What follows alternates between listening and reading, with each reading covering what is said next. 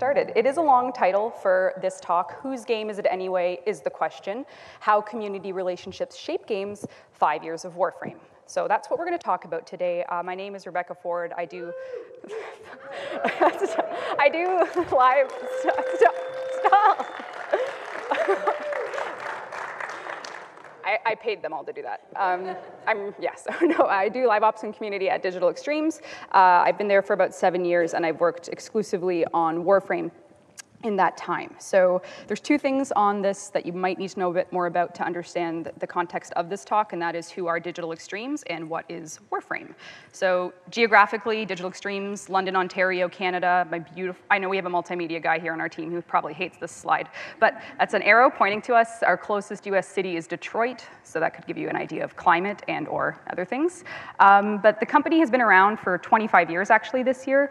This is, uh, you know, 1993 founding, and and in 2012, things really changed for the company, and that is because of Warframe. So this is a marketing version of what the game is. In my words, it's free to play, it's co-op, it's a third-person action looter shooter, and um, that's what's, you know, we've been doing it for five years, and I'm standing here today to tell you about that journey. And I'll do it kind of structured in the classic agenda style. This is sort of uh, what we're gonna what we're going to get through today. We're going to talk about how we operate with Warframe as a free-to-play game that's been operating for five years. Uh, we're gonna, then we're gonna get to the hits and the misses. This is sort of, if you take as many swings at bat as we have with all our updates, some of them are hits and some are misses. And when I say misses, this isn't, you know, disparaging work that we've done a bad job. It's just the way the community responded to it. And, you know, we have an amazing group of developers and just sometimes things don't go th the way we had hoped.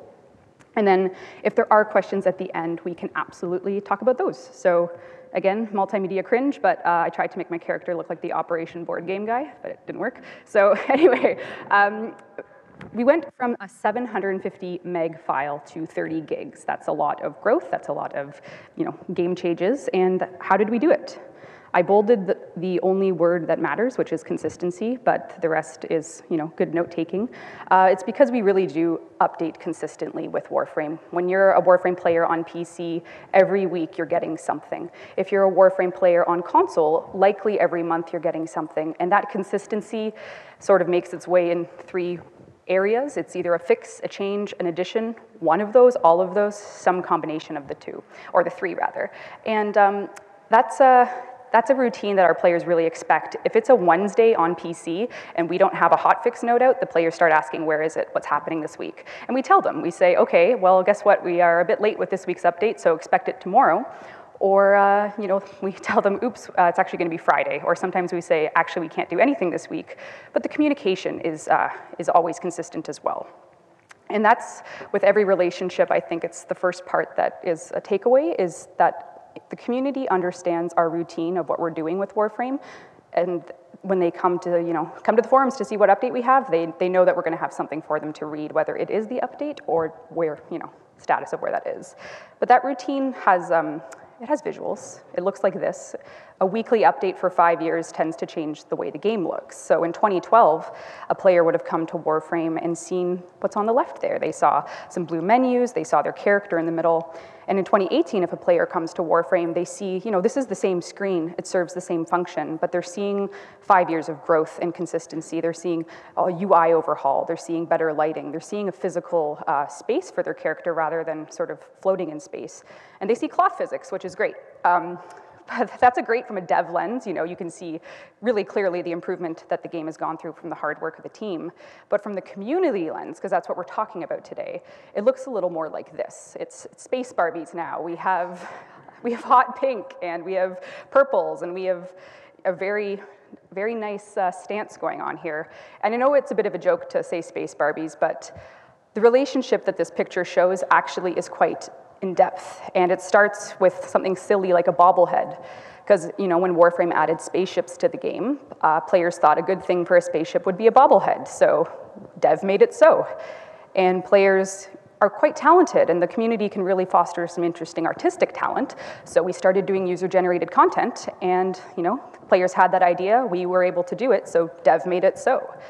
We have my, I think it's my right foot on my left thigh, looking quite graceful, because players wanted more in-depth customization. So they said we should be able to mix and match animation stances. So Dev made it so. We, I'm holding a gun here that is only uh, accessible if you've played the game for a long time. It's a loyalty reward of sorts, a login reward system. Our original login system wasn't particularly rewarding, so the players wanted a new one, so Dev made it so, and now you can get weapons through it. And the last sort of thing that's hidden behind all my other arrows, I guess, is a, a, beautiful, a beautiful cape. You know, what's a game without capes? But that was something that Dev actually wanted. They thought having cloth physics in Warframe being a little more robust would make it look better, and players agreed. So Dev wanted it, players thought, hey, that's pretty cool. So again, Dev made it so. And that's really the simplified version of how our relationship works. The players can want something, and Dev makes it so. But of course, it's not that simple because there's, you know, sometimes thousands of players when we were starting, and now we have millions of players.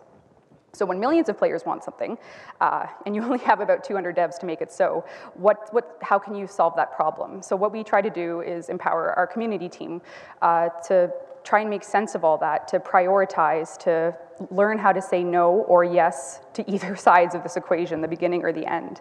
And um, basically, with this structure, we've been able to have a lot of hits and misses with our community. We have tried a lot of different things in Warframe's lifetime.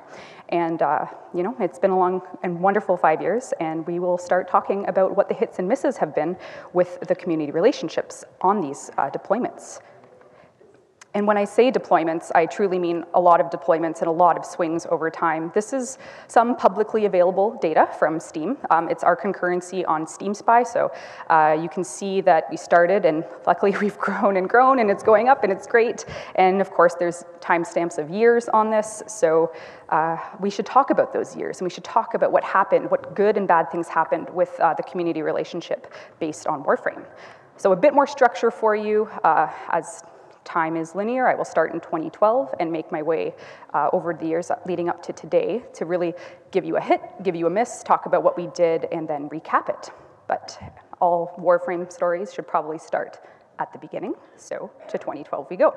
So once upon a time, uh, Digital Extremes, the company, uh, is mid-layoffs, and Warframe really is a last-ditch effort for the company to you know, not go under.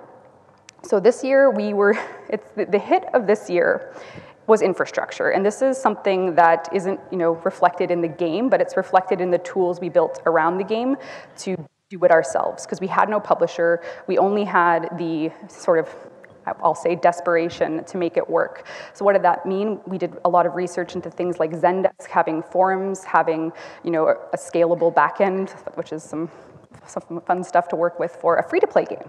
How are people going to download the game client? How are they going to log in? How are they going to authenticate emails? So doing all that type of research, um, it was easy to, it was a very accessible game in 2012, which was great if the game didn't have a miss, such as bad free-to-play design. So not that it was bad, it was just we were making a lot of mistakes. And those mistakes uh, are scary when you're doing it yourself because to release a free to play game and have some of the first reactions to it be pay to win, that's very dangerous. And for us, uh, very early on, we really spent a lot of time making mistakes that we didn't know we were making because we had never done free to play before, which could be the case for some of you, could not be the case, but it's scary and it feels really bad to see that your community that was born two months ago is starting to say things about uh, the game that you might not have realized uh, was negative. And it's really easy to pinpoint, if you listen to the community, what, what, what the mistakes looked like. So another red arrow, a different styled one this time, um, is pointing at this gold icon, which our community calls potatoes,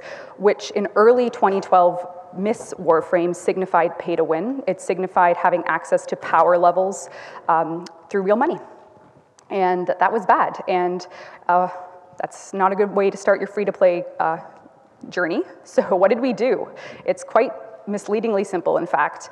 This year, we just listened and changed very quickly. So we're sitting at forums that, of course, we did not invent forums, using software for support that, of course, we did not invent, but we used it with the desperation of um, a company that was on its last legs to really do what we said we wanted to do, and that was to make fair free to play.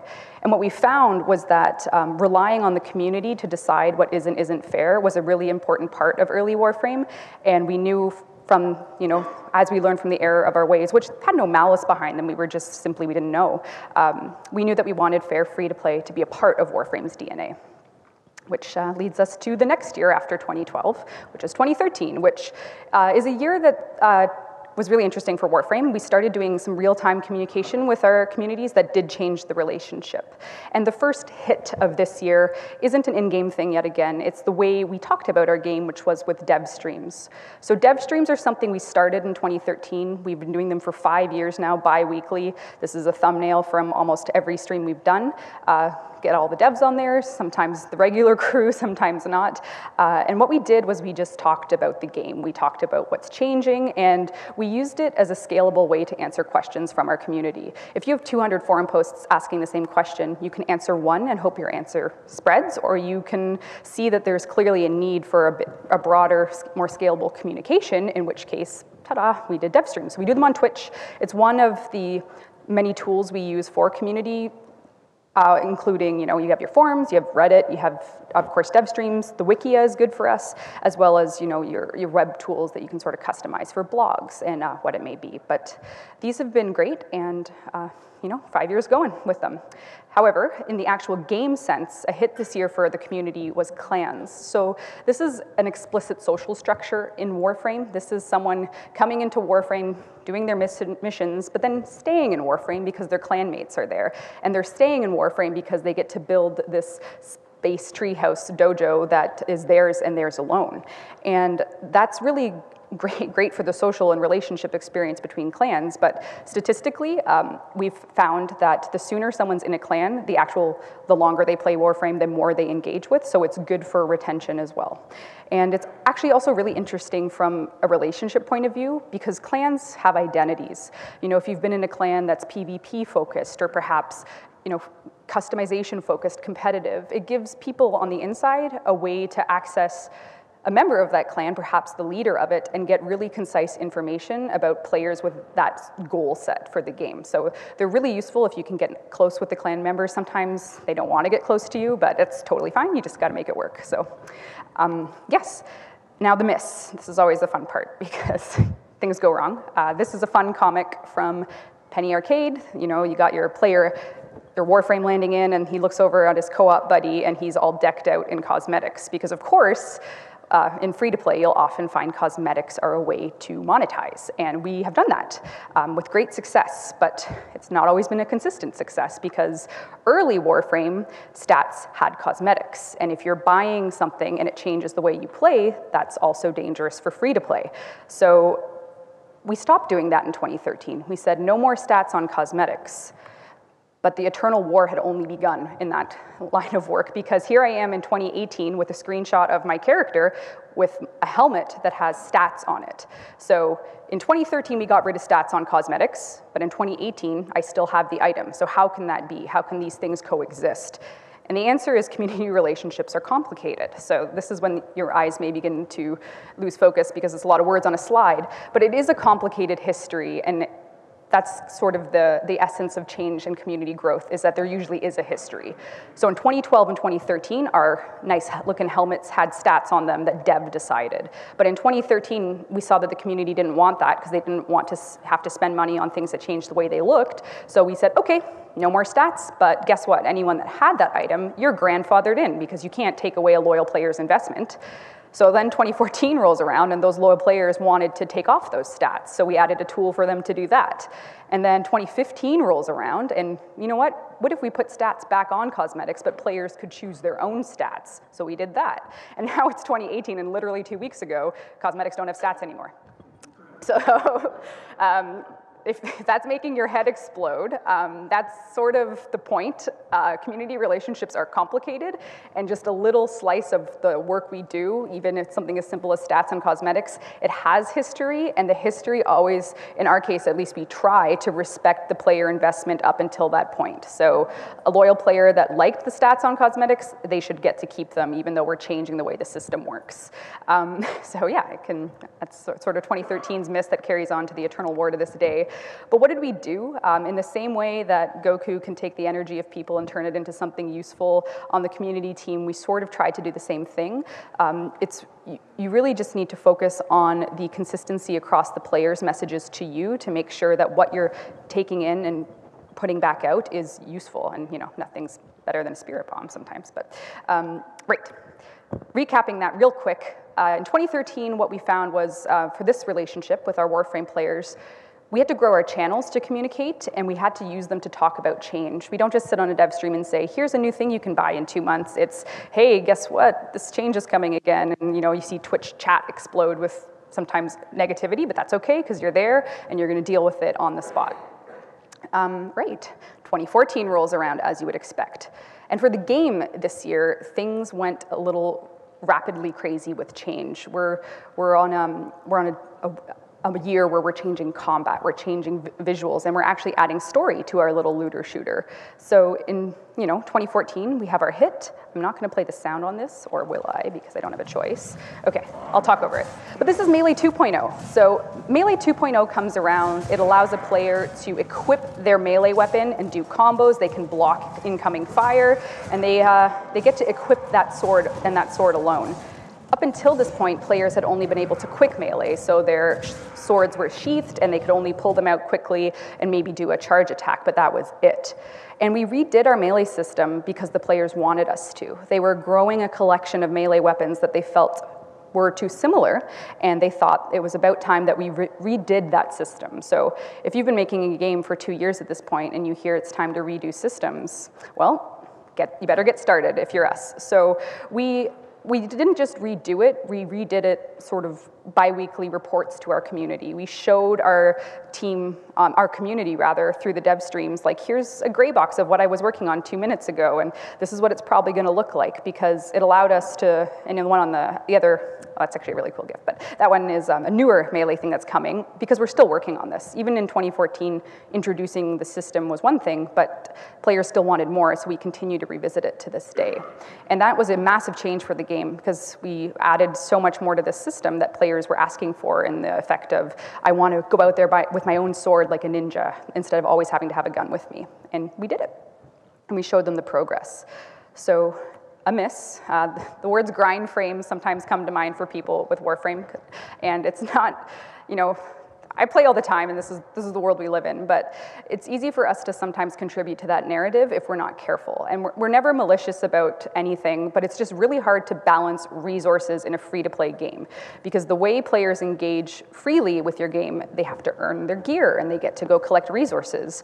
And this particular resource, uh, you know, it looks quite innocuous at a glance. It's nice and crystally, but it's actually called Oxium, and it's something we added to the game uh, just to give players something else to go after to build the new content we were making. Because we're adding, and in order to have people start all from the same place to get that gear, everyone gets a new resource to go after to do it. And sometimes we miss the mark on balancing that and understanding um, that a player doesn't maybe doesn't want to spend six hours doing the same thing over and over again, or maybe they're okay with it if the, the gameplay is a little different. But ultimately, Oxium represents sort of the beginning of the difficulties we've had with resource balancing. Uh, and what's really interesting statistically is when the community notices, uh, which, you know, they notice the moments that something like this happens, they keep track of it. Um, and there's often a, a, point from the community where they'll say something like, you guys must be raking in the platinum because you have made this so hard to get. And that's actually not true. Uh, a lot of the data uh, that we've looked into for this is if you look at something that has a you know, high grind cost, it doesn't actually sell any better than the things that are easier to make. It's, so we're not really benefiting from it at all. All it's doing is giving the community um, points of basically pain points to say this doesn't feel good and you shouldn't do this. So you always need to think about that before you release something. But if you're releasing an economy from scratch, you know, you, you, you do your best, but it doesn't always go right. So what did we do this year? Um, in many ways, we just took it all in. Uh, uh, the, the, great things that were coming from Melee 2.0 were extremely positive feedback, engagement with the Melee system. Players were very satisfied with that, but at the same time, um, we, were, we were taking in all the feedback about what Warframe, what players were saying Warframe was becoming, which was grind frame, which has a negative connotation, but ultimately um, the, the, way of the game is to get your resources. So it's tricky. So you just take it in. And in 2014, we learned that change is one thing, overhauling is another. So don't just change, of course. You should overhaul. And when the community does start to weigh in on grind tolerance, take note. So on our team, we were taking note of how, what was the difference between someone saying, oh, I can't get this now, or the, the more the more voices added to that uh, particular line of feedback. All right, another year, here we go, 2015.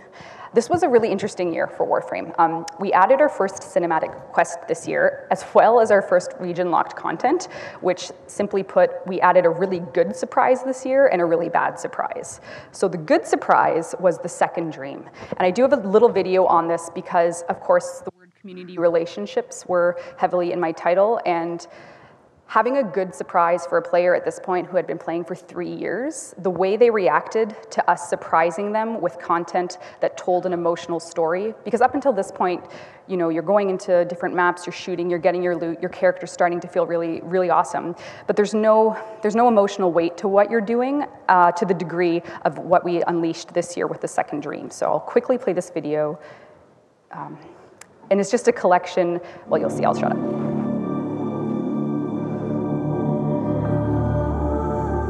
Wow. Oh my god, that looks sick. What is going on?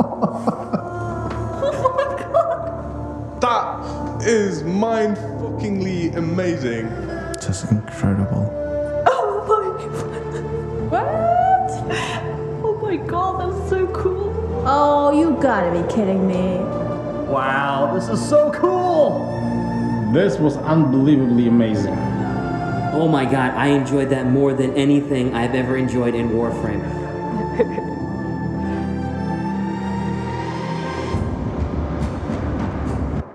right. So if you are in a three-year relationship with your community, and for the first time ever you get a reaction like that, it feels great. And the reason we were able to do it is because we surprised them. So on the one hand, you have these dev streams and you're showing the gray boxes of your melee animations, you're showing, you know, just crazy things happening in the game that they expect. And then to deliver the unexpected to that loyal player base yielded a reaction like that, which for the relationship with the community really expressed um, a turning point in not only did they want us they didn't just want the entertainment of Warframe Space Ninjas, they now wanted more story and they wanted to relive this moment again. So we've been trying to do that year after year. It's not easy, but we'll get there.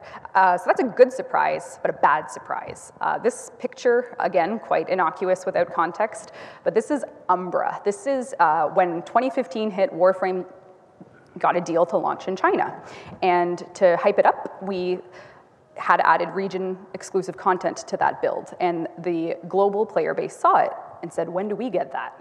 And we didn't have an answer because we didn't know. So the, you know, everyone's Google translating the Chinese press release. I'm reading them saying, is this true? What's going on here? Because we were, we had a bad surprise in many ways and we weren't prepared to communicate this information to our loyal players who wanted nothing more than to know when they were getting this, which by the way, they still haven't gotten.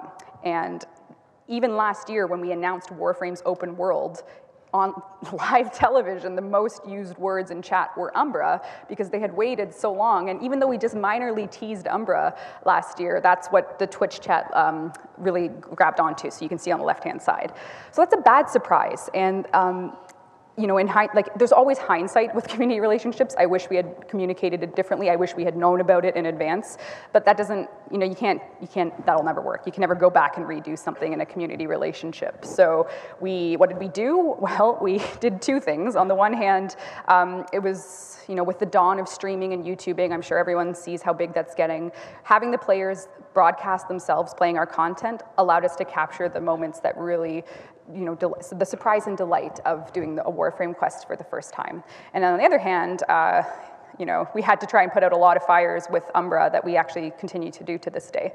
And you know, what, what can you do? Bad surprises linger, and, but there's a thirst for it now, which is kind of interesting to observe. But either way, 2015 was all about taking risks and really planning to surprise our loyal players with the good surprises, but not bad ones. But what can you do if a bad surprise comes out? Because usually you're caught in the crossfire as well.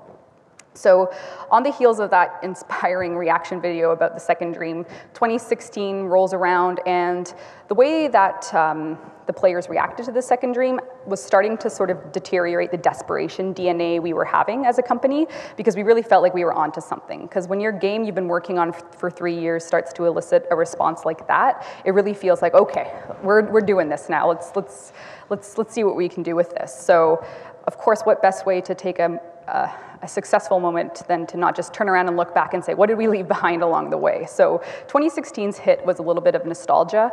Up until this point, the game had continued to change, grow. I, I don't know exactly what our file size was in 2016, but you know point A was 750 and point B today is 30, so we're talking somewhere around 20 gigs probably, and that's a lot of change and additions. So we decided to redo our navigation system for about the fourth time this year because the players wanted us to.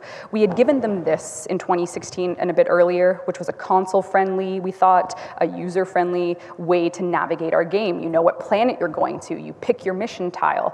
But it turns out uh, the players didn't like it and had been telling us for a long time. And not only that, it actually was worse for retention uh, statistically.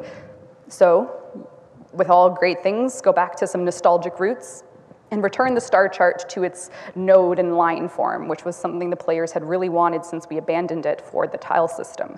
And this brought, even though this was a bit of a bumpy launch, as, as it can happen, the players saw our commitment to the past Warframe vision and felt that even though we had changed the story in the year prior, the roots were still there, especially in um, the visuals access points to all things Warframe. Every planet and every mission was starting to look a little more uh, like it used to.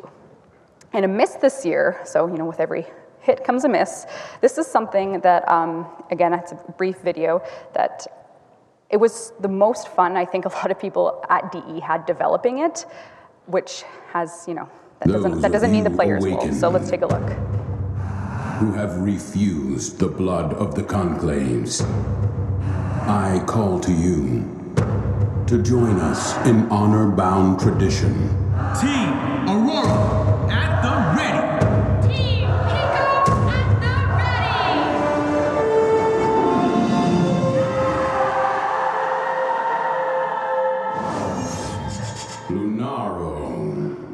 Okay, so we were at PAX and we were coming off the heels of the second dream and we showed that video and we were all grinning because we're like, yes, players are gonna love this. And because we loved, you know, you heard the chanting in the video, that's the devs in the theater, like having a great time. We were adding a sport to Warframe because Warframe's not a competitive game, it's cooperative. So surely the way to do competition is with a sport. And it was just silent, the reaction at PAX East. And it, it you know, we had to release it, of course, and we still, like, even I still love it, and I just know that even though we loved making it, it did not resonate with our player base at all, and you kind of had to acknowledge that, and you had to look at it and look at the way it released and say, okay, uh, I guess I guess we're not updating that content type anymore, even though we had a lot of fun making it, um, which was sort of like, what did we do, right? Well, in the same way that like we tried. And I, I honestly the team worked so hard on surprising our players with different things and I, I, I wouldn't have not done it ever because it was just so fun. But the players understood that we were taking risks and trying and they're not going to be mad about your mom embarrassing you you know it's fine. And we also found that this year 2016 we were really hitting our stride on our platform launches so not we're not just a PC game anymore, we're also on PlayStation 4 and Xbox. So things were starting to get a little uh, muddy about who's getting what information. So because we eat a lot of Domino's pizza, we thought we should do a pizza tracker for our builds. So we built, because you know, you get your pizza, George is making it and Tracy's bringing it to you. So on our website, we built a sort of that version for our platforms. So on PC, uh, there's really only two states in development and live, uh, but on consoles, you have development, cert, and live. And these always point to a human source of information. So one of our community members on that team makes a thread, says, hey everyone, guess what? The build's in the oven, and it's gonna have this, this, and this, and we'll let you know when it's in cert. And we use this, uh, we just made this little widget. It points to, uh, you know, different statuses and different links for you to always based on our forums, just to have these conversations with your players about where their builds are. And of course, if you have a complex multi-platform game with no build parity, you might want something like this, which is our case. So yeah, 2016, um, what we learned that year was never stop changing and overhauling. And as a group of devs who have, at this point, four years of lessons, the fun you have developing something might not resonate with your players, and maybe you should move on quickly from that if that's the case. And uh, so we did, even though, you know, I don't think I've played Lunaro in like a year, but I'm going to now because I got nostalgic, which apparently was a lesson from 2015. So time, oh no, actually 2016, sorry. Anywho, uh, so 2017, this is last year, um, and this was a year for Warframe when we talk a literal community relationship. We had one of the worst and best moments in the same year. Uh, so I'm going to start with the miss this year, and then I'll talk about the hit. So whatever structure I gave the past years, just not anymore. Um, the miss. So DE versus data mining. So for all these years now, uh, we had really turned a blind eye to the data mining side of Warframe, while we had done things under the hood, um, you know, to make sure that we weren't leaking content that we weren't ready to announce or anything. Uh, it, it, we just really hadn't acknowledged it, I suppose. But when we literally ask the question, whose game is it anyway? If someone has a free game on their PC, is it their, is it within their rights to, you know, go through the files and start looking at things? And you know, that's that's the the community's vision of it. So we're not one to say, okay, stop doing that unless it gets ugly. And this year it got ugly. We were seeing um, some things happening that, remember that Umbra I was talking about that isn't in the global build, it was in the global build somehow because somehow uh, some people had hacked it and added it in, and we were able to conclude uh, where it was coming from and what the source of it was, so we had to take action. And it was in that time that the players had seen an action from us that they felt was the worst thing we had ever done. By going after data mining, we had become the bad guy because we were now trying to hide things and we, any transparency that they felt data mine offer, offered them as a community to see like, oh, DE screwed up a drop rate or whatever it may be, had vanished by us taking action. So it was really tricky because we like of course we would have handled it differently now and we just at the time were really scared because we didn't want things leaking because we again we were wanting to surprise and delight our community again with something like the second dream and that was the hit of this year which was open world so you have your sort of data mining scandal and then all of a sudden all, all eyes are on us because we have a, a, big announcement for our community. We want to tell them we have something really exciting for you guys, and that was open world. This was a day in Warframe's history where we walked through a set of doors and showed the community what we were sort of being so secretive about and that was this. This was the, the Plains of Eidolon announcement, which we did live uh, in front of our audience, and it was wonderful. And this was a really great moment for Warframe and the community because they saw us do something that they and we had said was impossible. And our procedural game had gone from that, thanks to the developers, to now open world. And that was um, a really special moment in the relationship because it was that surprise and delight without it even being released yet, which was quite exciting. And you know, what did we do? Well, we looked and we said, wow, people really liked that. You know, you released this um, most hype update in Warframe's history, and we took a look at it, and we saw that it had uh, put Warframe in a position it had never reached before, and it of course reinforces the you know, ambition to do things like that, of course, leading into this year as well. And that was a really, really, really exciting time for us because we had a community that was overwhelmed with um, support for the idea that we were going to do that. But so, of course, you're excited and want to keep that alive. But when it when I go back to data mining just now, because um, I'm going to tell you what we did about that, because data mining is really tricky, and we're a free-to-play game, we have drop rates, so what did we do in that situation when that happened? We built a drop site repository, because uh, we saw the most, the most feedback on the, uh, the player's point of view about us going after data miners was that we're not being honest anymore, and we felt that the best way to be honest was to give them the info directly for what they were looking for.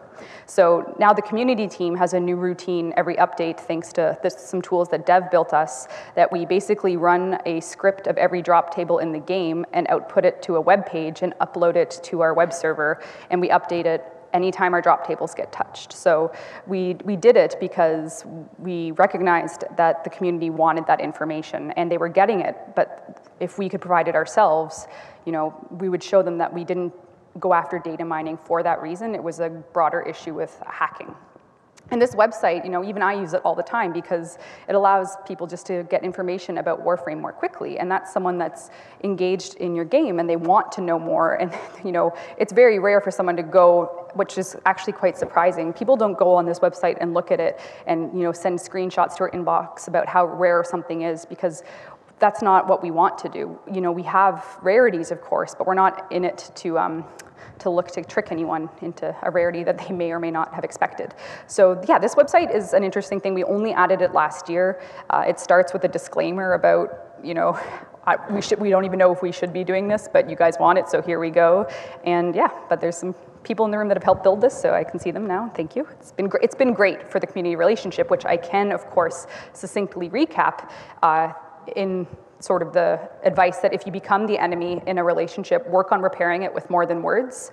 Uh, which is what that website represents as an action, because you can always say, don't worry, we're not gonna do X, Y, or Z, but if you show um, a, a plan to address the community concerns, it, it is great for the community relationship.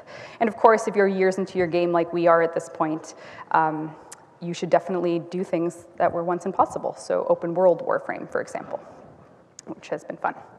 So, you know, whose game is it anyway? That is the question that we are trying to answer. And the best way I can talk about that in the context of Warframe is that it's shared. We've added so much to the game based on what the community has wanted, and the community has seen that our ability to add these things is shaping Warframe into what it is today. And we, you know, you try and do it in that the community wants something, the devs are the only ones that can do it. So how do you make, how do you reconcile that? And that's where we stand in the middle uh, with the community team. And after five years, what we've really tried to view in this relationship we have is that the players really are citizens.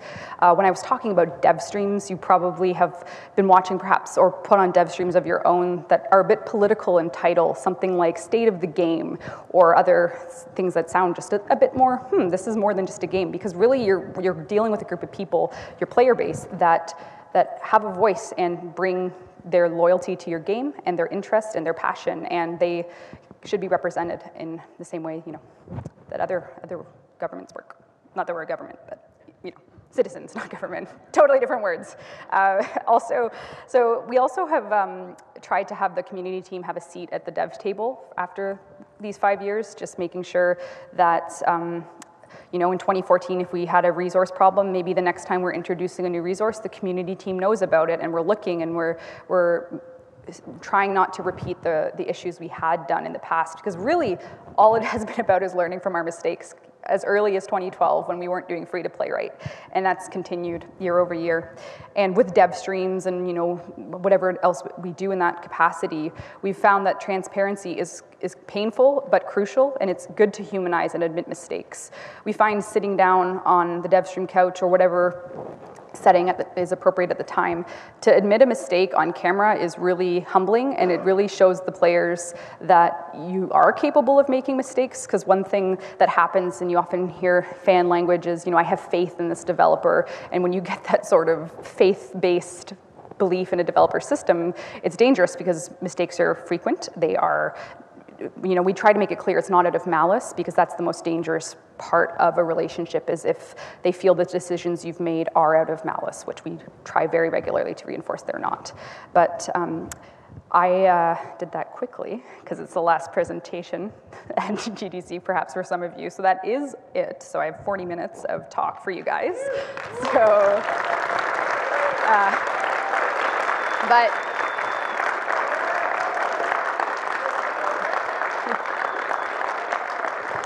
I, sh- I shouldn't have talked over the videos. They could have just run. But if you do have any questions, now would be a good time to line up at either microphone side. And if not, that's totally cool too.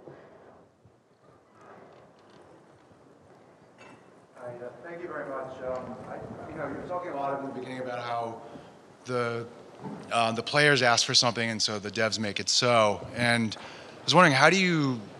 Sometimes it seems like that might not be good for the game. Like maybe the players don't know what's best, or maybe there's a vocal minority that isn't really speaking for the larger player base. So I was wondering how you you tackle those kind of concerns. Right. So what we try to do is take the, what the players want and make sure it's actually a scaled want. So a dev stream for us is a really good example because when we generate questions for it, we look to see what the actual most used words are. And then if we see a high frequency of the same request, we address it on air. And then we literally on air say yes or no sometimes and try, if we think it's bad for the game, we'll say no. Sometimes we'll say why. And if we think it's good for the game, we sort of build a wish list of things that are good um, good, good victories to add to the game for the community. And what's surprising about that, uh, in regards to you know players wanting things, is they typically do want realistic things. Like there are things that you can of course say no to, you know, like turn Warframe into first person or do something like that, which we do say no to. But generally, if a player is at the point in this community to ask for something, they, they ask it and they typically they explain why they want it, which allows us to you know, address it more on the nose in the scheme of Warframe's design and future. Cool, thank you. Hello. Hi. Um, have you ever had to tackle pockets of toxicity in your community, either community to each other or community to dev? Uh, yes, so toxicity in the community is, yeah, I think, you know, many games face it, and we have had to deal with it time over time. And we really look at you know, why it's happening. And a lot of what we've found in dealing with it, you know, basic moderation is really helpful. Of course, you can read out, um, you know, with all your tools, get someone out of it swearing, doing this, doing that. But if there's, you know, for example, a clan that's particularly toxic, uh, that's harder to deal with because there's a lot more of the toxic individuals. And we try to make sure that we're as strict with our code of conduct as possible. So if we can clearly see, like, you violated this, you're out, there's no disputing it. But sometimes, you know, pitchforks come out, right? Mm. And toxicity can spread, especially if it becomes an us versus them scenario. And I always just try and work with that on our team as succinctly as possible in using our guidelines to work with it. Okay. Thank you very much. Hello. Hi. Are there any, uh, you talk a lot about engaging with the community in general. Uh, are there particular platforms or communities that you uh, find easier to use or, or better for reaching a large audience or a particular audience? Just I, am a really big, so in terms of tools to engage with our community, I do think dev streams have worked out really well for that because we've just built this sort of five-year familial uh, bond about what we're working on. You know, Warframe is going to always change and grow, so why not use a tool that's not super polished in our case, but really honest about what we're doing. And that one, again, has been huge. I would say right now it's really nice to you know, rely on Discord a bit more, and the forum, our, our, official forums are sort of like the Library of Alexandria. They house everything we've ever done, and they're not the best for conversing. So you have to sort of pick your what your goal is for a particular engagement and use something more accommodating to that. Which Discord's great for conversations, of course. Awesome, thank you. Sweet. Hello. Hi. Um, oh, sorry. Hi. It's I, most of the talk was about um, the early years until up until 2017. Yeah. Um, I'm just curious. What's what are the challenges so far this year, and what's Warframe like in 2018 with the community? So 2018 has been actually really interesting because we haven't released actually Tuesday of this week marked the release of new content. We hadn't added a single weapon or warframe this whole year so far, up until Tuesday. So the year has been one of, you know, I was talking about change and nostalgia in 2016. It's heavily been on that for the first part of the year. We've gone and looked at every weapon we've released in the primary and the secondary capacity and rebalanced them. So the devs have been working hard on basically doing spring cleaning, but more winter cleaning for all the game's content rather than adding a new gun or something like that. So it's really been an exercise in revision. And it's interesting to see how the communities responded, because again, they're used to consistency, um, but the consistency this year, the weekly updates have been cleanups rather than here's your brand new XYZ. So. Right. Thanks. And we told them that. We said, hey, you're not getting new stuff this year. You might have noticed. And they were okay with it. So, hello. Hi. Um, so, a company I worked at previously, like the community definitely did not have a favorable view of us. So frequently, when we released even a positive announcement, uh, it would get twisted around, and they. So I was just curious, uh, what sort of like language was most twisted against you, and how did you reframe your wording of it?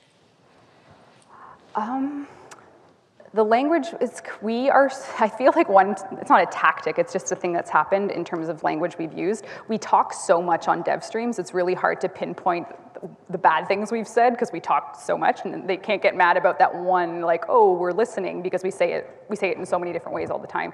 But when it comes to the community you know picking a like a, a moment to think that de is doing a bad job of something and therefore what is coming should not be celebrated um, it's typically in the growth of the game and the, the idea of neglect right? So if a player sees we're adding uh, something new they'll say that's great but what about all the other stuff you've left behind and they often criticize any uh, any new things as bad because other things are being abandoned.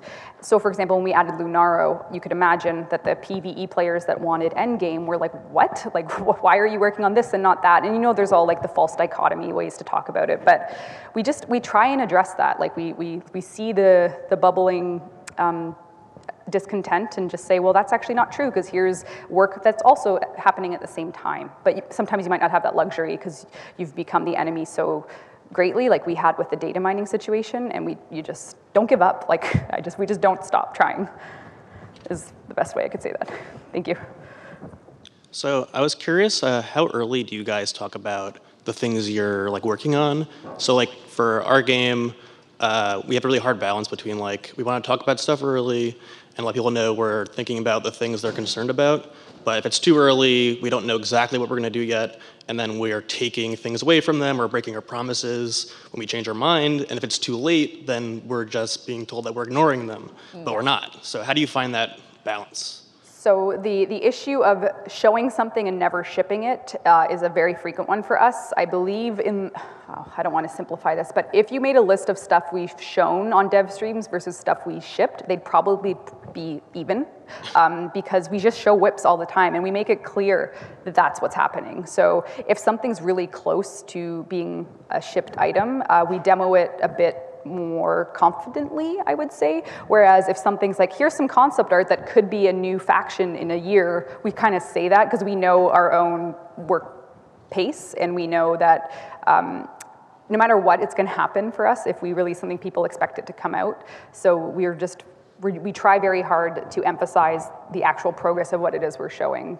Um, and we just want to show it. Like even if it is a year away, we typically do show it just because we want to. so it's at your call, of course, and it is a struggle. And it's whether or not you're uh, prepared to lower expectations about things that you yourself have doubt about like it'll be a time on a stream where someone's really talking optimistically about something and i'm like i don't even think i've seen work started on that and i'll say that out loud just to make sure players see that this is messy because things aren't easy all the time. So does like the community now have like an expectation that like a lot of that stuff could not be that way and Yep. they sort of accept it now? Yep, it's, it's amazing the power of their own wisdom about how we operate at this point uh, because they are able to set their own expectations sort of as a, a group, which is nice. Cool, thank you. Yes. Hello. Yeah, sorry, I just uh, wondering, you, you, as you have said, you release a version later in China, right? Yes. When you're referring to the community, uh, you referring to the global community or different country community? As I know, some players in some different countries they have different or conflict opinions or needs to the same released version. So, do you have any um, share experience about the conflict opinions? Uh, it, it is tricky with conflicting regions. The only true region uh, restrictions are mainland China for the, that build, and the, and the rest of the world is considered global. And it's been, uh, in that respect, there have been conflicting opinions about stuff we've released, the way the community responds to it. Yeah.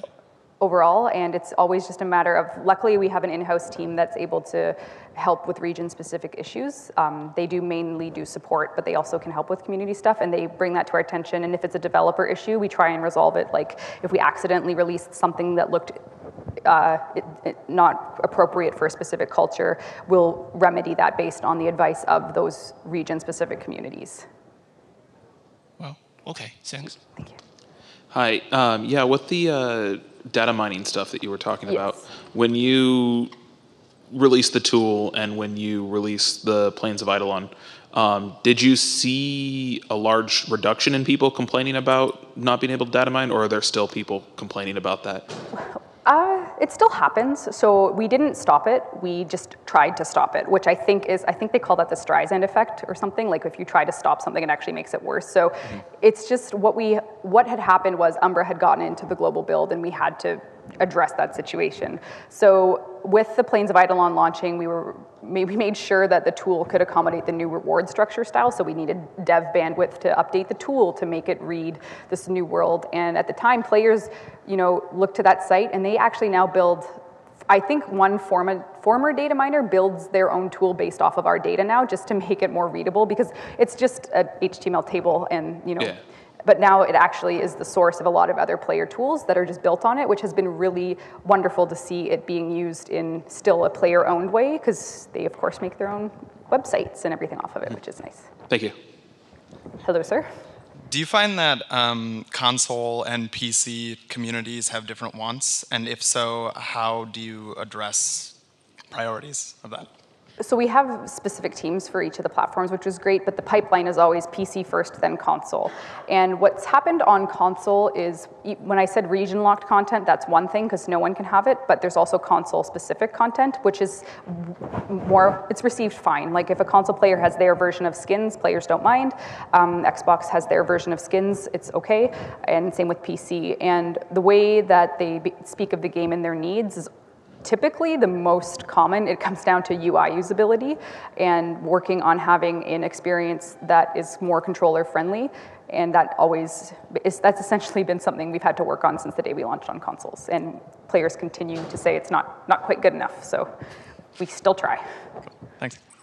hello Uh, so I was just in regards to uh, players being vocal or less vocal. Um, how do you deal with, I guess, the comfort level of certain players just co- commenting on their opinions of various builds? Because some players might be a little more vocal and more uh, confident in talking about the content they want or their opinions on uh, updates, whereas other players might be a little bit more uh, less vocal about it for a variety of reasons, maybe just accessibility.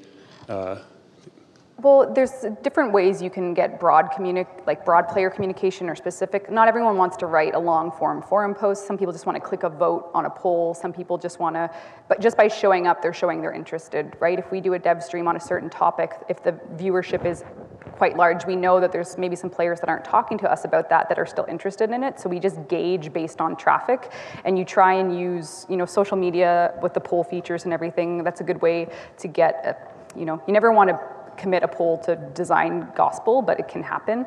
And you just have to make sure that whatever tools you've built and you own are being used frequently and be aware that players that may not want to use those tools, like we don't have an official Discord, but we're on Discord, and we found that there's a lot of value there and people behave differently and more themselves there perhaps than on an official forum. So just acknowledging that the tool changes the, you know, attracts different types of players. And I totally forgot to say, uh, turn off your phones, and um, I just realized that, and also that you can rate the talk after. So I just realized now. Sorry. Hi, uh, I was wondering how you guys handled international communities. Um, our game, for example, I think 60% of our player base is Chinese and Russian. Oh. Um, we're all English speakers on the dev team primarily, um, so we don't have a great way of communicating with them. I was wondering if you guys had a second team in those regions or how you handled smaller regions that you can't really communicate with but have very different and special feedback or We're all in house. The community team is a seven person English speaking team at this point in time. But we also have an in house support team, who, which is run by a gentleman sitting here that has all the languages that we support, and we're able to use them as a lightning rod for really specific issues in that community. With Warframe's growth as it is today, I expect that we will start trying to have dedicated community people in our bigger regions like Russia, but we don't have that right now, and we just try our best with the resources we have to make sure the main developer updates get translated. And ultimately we could be doing a better job of including those communities but we still haven't figured it out very well. So it sounds like we're in the same boat. Okay thank you. Welcome. All right i think that's it hello Uh, could you reflect a little bit on the um, Twitch event that you had in the fall alongside Plains of Eidolon? Yes. And because it, it obviously exploded um, it also exploded your servers. Uh, Yep. So Yep. um, the success of that, how you would do it differently, would you do it differently again? Right. So the Twitch event we had. So Twitch is exploding, as we all know, and there's something called Twitch Drops, which allows you to have the viewers of your game get rewarded with items in game simply for watching. So we launched a Twitch Drop campaign with the launch of our open world update to reward people watching Warframe streamers. And if you get free loot in Warframe, you're going to show up. So we launched it at such a scale that it did bring our servers down the first day, and it did expose a vector of exploit for people to have six windows open and watch our stream. And there was a drop table that had 30 items in it, and they were getting multiples. And I wouldn't have done it differently because it was so, ins- well, I'm sure everyone on the team's like, never again. But um, and it was it actually created two levels of issues for us obviously technical but there was also the court of public opinion that we had paid for view bots which simply wasn't true. People just didn't understand the draw of free warframe loot of course. And the streamers were having fun with it. They were gamifying it a bit. And we have refined the tool since then. Um, it is no longer exploitable. It's a lot less uh, crazy in the campaigns we do. We still use it to this day, just at a much more sane level. And I think it's worth looking into if you have a, a game that on Twitch drops that could utilize the system because it is pretty cool. Hi, great talk. Um, you talked about a seat at the development table with the community team. Can you talk in a little bit more detail? Are you just collaborating with leaders or uh, individual contributors, small teams, big teams, and just how that all coordinates? So Slack has made it really easy to sort of have a virtual seat at every table. So we always try and include a community team member in the features channels. And the community team at Warframe is also also works on live ops. So when deployments go out and when people are debating whether or not to include something in a deployment, we are involved in that.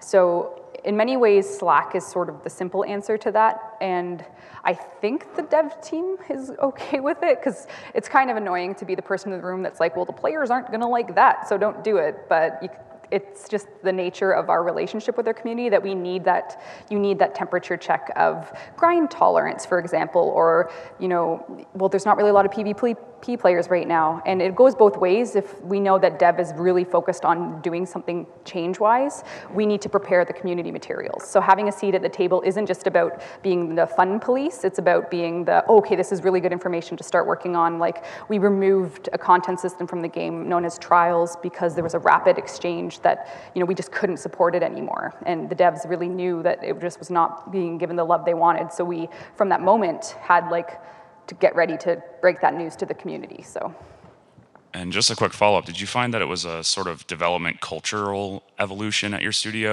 when you were getting involved this way?